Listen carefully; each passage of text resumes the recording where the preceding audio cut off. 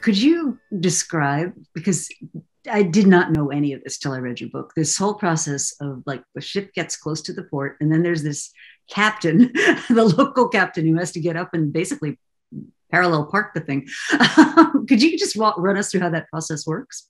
Yeah, yeah. I mean, as much as we have uh, turned uh, ocean going shipping into into a, a really routine business almost like office work for the sailors on board. Once they get close to port there you know there is still some uh, swashbuckling and danger and romance left in the process because uh, these ships are so big. They've gotten they're so close to the maximum size that any of these ports or terminals can accommodate that you know wherever you are in the world um, you know the captain of a ship is not allowed to take that ship into a port. They need somebody with specialized knowledge to do it.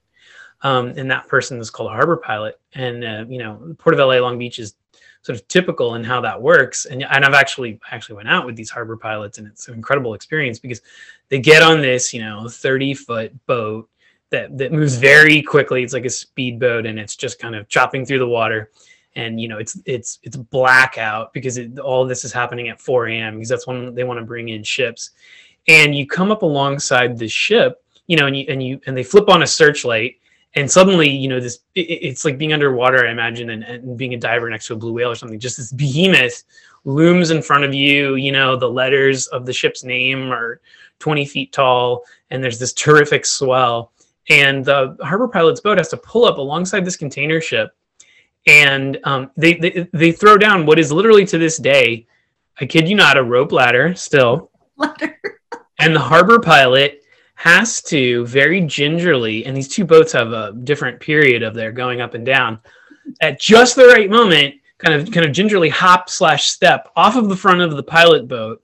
And there's a there's a, a body man there to, to, to try to help him if something goes wrong, and, and leap onto the ladder and scramble up it before the swell of the ocean catches him because if this harbor pilot uh, goes under, their survival rate is almost zero. Uh, you know, if you're a harbor pilot over the course of your career, you have a one in 20 chance of dying on the job.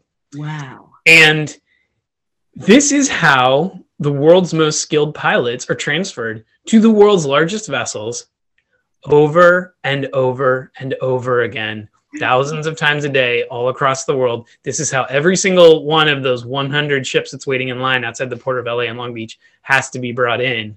Um, is this this this you know this big strong guy who is an extremely experienced pilot who's so experienced that he gets paid more than four hundred thousand dollars a year for his services has to risk his life to get onto that giant ship.